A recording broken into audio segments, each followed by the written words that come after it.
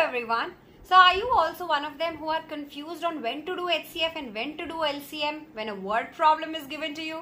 So I'm going to give you a few hacks to solve that problem.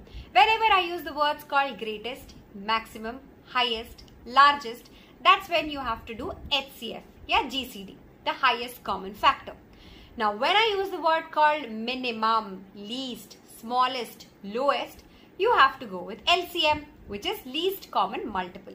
Now, apart from those words, if I use the words called simultaneously, together, at the same time, if any of these are used, then also you will have to take LCM.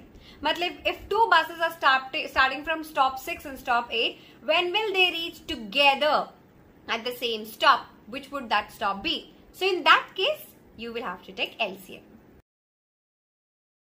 Problem solved.